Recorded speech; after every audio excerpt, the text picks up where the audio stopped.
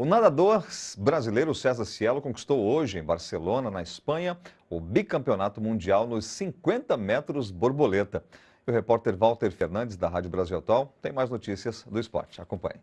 O brasileiro levou a medalha de ouro ao terminar a prova com um tempo de 23 segundos e um centésimo. Segundo lugar para o norte-americano Eugène Goutsou. O francês Frédéric Bousquet completou o pódio nessa prova, mas essa não foi a única medalha brasileira nesta segunda-feira na Espanha. Felipe Lima surpreendeu nos 100 metros peito e ficou com bronze nessa prova. Futebol. São Paulo, depois do empate sem gols com o Corinthians no estádio do Pacaembu ontem, viajou na tarde desta segunda segunda-feira para a Alemanha, onde inicia uma excursão internacional. Na quarta-feira, o time do Morumbi enfrenta o Bayern de Munique.